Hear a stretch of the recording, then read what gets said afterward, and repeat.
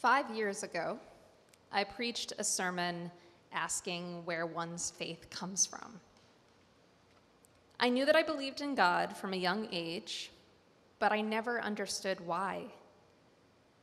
My parents tried their best to raise a culturally Jewish non believer, and yet here I stand in my second year of seminary, identifying as a Jewish UU theist, speaking to you from the pulpit of a church. While seminary is an expert partner at flipping around everything you thought you believed, this nagging connection to God has somehow persevered. From a surprisingly young age, I found myself humbled by a belief in something beyond what I could see. In the wake of my grandfather's death when I was seven, I began to pray to him nightly. He felt like a conversation partner, like he was looking down on me and was someone I could bring my questions and fears to. At some point that I no longer remember, my prayers to my grandfather shifted to prayers to God, who I was taught not to believe in. Prayer was something that fed my life. I found myself praying for safety when things felt dangerous and would whisper prayers of gratitude for being in the right place at the right time when witnessing a moment of the absolute splendor of nature. I couldn't intellectually explain my faith, but I knew deep within how it felt in my body. You may be wondering here today why is she sharing this? Where does faith fit in our church? The common misconception about Unitarian Universalism is that we can believe whatever we want.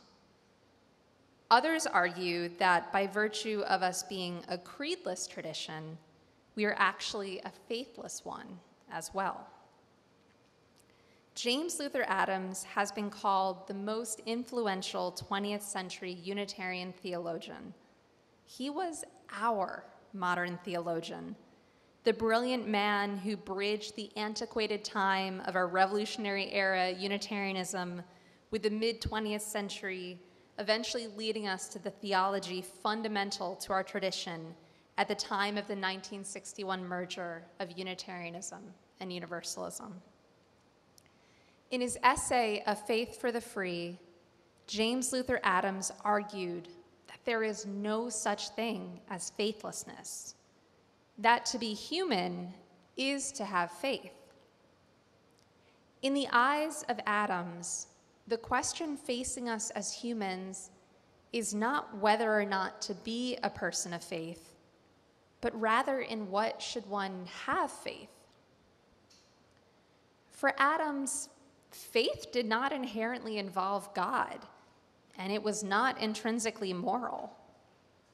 Writing in the year after World War II ended, Adams had witnessed the results of people being swayed by a faith in nationalism and militarism.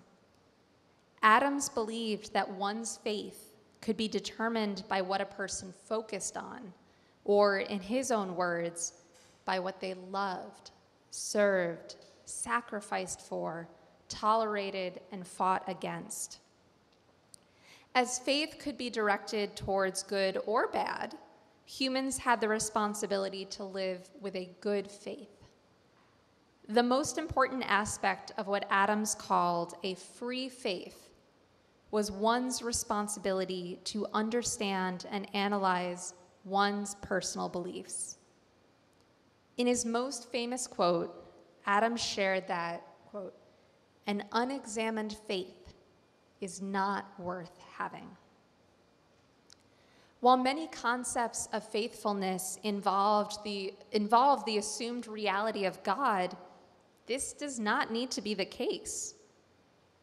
My life experiences have granted me a belief in God, but I truly believe that in a different lifetime, my inherent faith could have just as easily been grounded in natural phenomena, in an awe of nature, rather than the Spirit, or perhaps somewhere in between. As Reverend Kendyl Gibbons stated in her 2012 essay, Primal Reverence, of which you just heard a part, quote, the primal experience of reverence in and for the natural world precedes theology of any variety. It is an organic human experience that requires no supernatural explanations. For Reverend Gibbons, the purest demonstration of faith was the act of reverence. One could be reverent towards nature or moved into reverence from heroic stories of selfless acts. Gibbons wrote about the humility she felt standing at a waterfall, of gazing at its immense power and unbelievable beauty.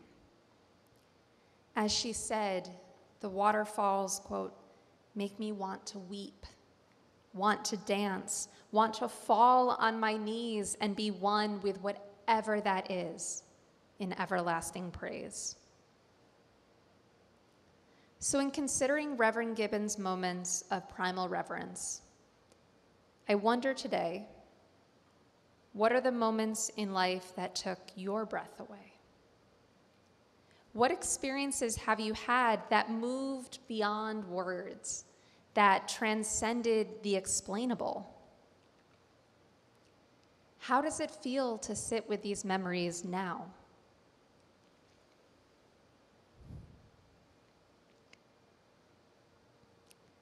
We can all find benefit in giving in to the mystery and wonder of life theist, non, or somewhere in between, the most powerful moments in our lives might be the most difficult to explain. Over 16 years ago, I was searching to figure out my place in this world, my purpose, my reason for being. In a moment of unprecedented clarity, I felt myself called into a life of service. At this time, my childhood prayer practice was starting to wane, and I was no longer sure what I believed. One week later, at the tail end of a 12 and a half hour drive home from college, I lost focus and began to 360 across the New York State Thruway.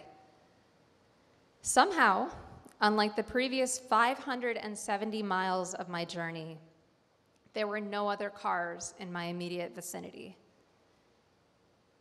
When all was said and done, I'd hit both the left and right guardrails of this four lane highway, shattered the windows of my car, and deposited my rear bumper about a half mile back from where I skidded to a stop on the left shoulder. Other concerned drivers pulled off, 911 was called, and I shakily left my smoking car. That night was a blur of emotions and adrenaline, but somehow, as the police and my parents arrived, I knew I was okay enough to decline their offer for an ambulance. The next morning, I woke up in my childhood bedroom, the same place where I had first fallen into prayer, and I was struck by a thought. I realized I had emerged from my totaled car without even a scratch or a bruise on my body. For reasons I could not understand and that I still struggle to fully comprehend all these years later, it was completely clear to me, without a doubt in my mind, that I had been spared. Not only that, but that all of the other drivers on the road with me were kept safe as well. My waning childhood faith in God came roaring back like a tidal wave. My questions over my life's purpose just a week before started to come into a new focus. I felt I had been given a second chance at life and my belief in something unexplainable started to be transcribed onto my heart. This is my story, but it is just one of millions of stories of a discovery of what exactly one's faith is pointing to. For me, faith in a higher power and a desire to serve others has been the driving force in my life. For Reverend Gibbons, her faith became reverence in the natural world, and it gives her grounding and purpose. What could change if you consider the natural moments that take your breath away as a moment of praise? As Unitarian Universalists, we need not be afraid to be people of faith. It is not necessary to believe in God or in any higher power in order to have faith. I truly believe that connecting to these moments of personal faith, whether it be through the divine or through nature or through the face of an infant who just learned how to smile, will only make our tradition stronger. As Adam said, it is not possible to have a faithless life, just a life lived with an unexamined faith. So I ask you today what is your faith? What do you love, serve, and sacrifice for? What do you tolerate? What do you fight against? As you think of these driving forces in your life, how does it feel to consider them as elements of faith? Amen and blessed be. Hi, I'm Reverend Hannah Capaldi. And I'm Reverend Abbey Tennis. We are the ministers at the First Unitarian Church of Philadelphia, where our mission is to awaken love and justice in our lives and in the world. We're so grateful that you watched, and we hope that the sermon connected with your soul. We also want to invite you to join us for a live worship service every Sunday at 11 a.m. Eastern Time. You can always find the link to that service on our website at www.philauu.org. In these services, you'll hear words like you've just heard, and you also get a chance to greet one another, pray together, sing together, and we even hold a virtual coffee hour after services to get a chance to greet some new and old friends.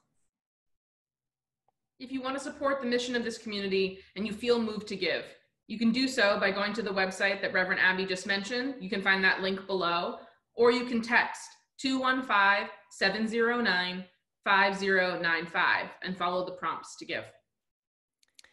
If someone in your life needs to hear these words today, we encourage you to share this video. And again, thank you so much for watching. We hope to see you soon.